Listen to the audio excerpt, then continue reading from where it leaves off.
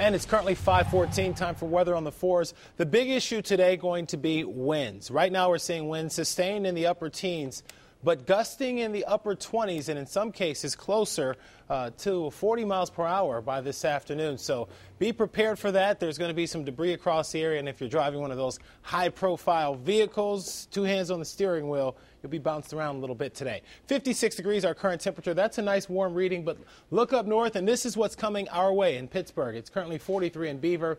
Butler reading at 50 at this hour. That cold air is going to win out. I'm going for a high temperature of 58 degrees, but I think that's right around lunchtime. After that, temperatures will begin to drop. So back down to 56 by 5 p.m. Windy with off and on showers today. Now the rain now is mostly northeast of Pittsburgh. A line of showers moving through our northern and eastern counties. There's going to be more coming our way. Uh, the good news is I don't think we'll see anything heavy today.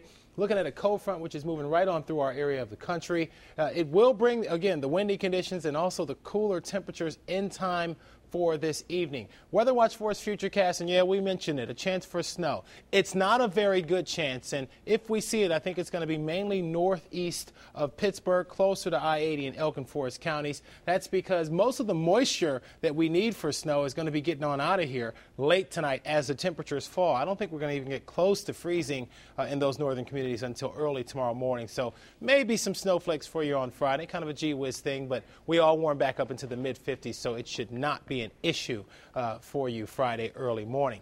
Taking a look at your forecast today, though, uh, we can expect to see things quickly climb to about 60 in Greensburg, then drop this afternoon. 57 in Indiana. Up north, we'll be up to 59 in Butler, Kittanning 58, Beaver 59. Southwest, Waynesburg will be at 59, 62 for Morgantown, and into Allegheny County, Wexford, we're up to 57 degrees. The South Hills 59. That snow forecast is right up there in the Elk and Forest County, St. Mary's, maybe a little bit of a snow activity for you. If you can, send us a picture at ulocal at the pittsburghchannel.com. All right, next three days look like this. Today's high up to 56, down to 35 tonight, 55 tomorrow, partly cloudy skies there. Next chance for rain Saturday night. That moves into the area Sunday also. Sunday's high 69.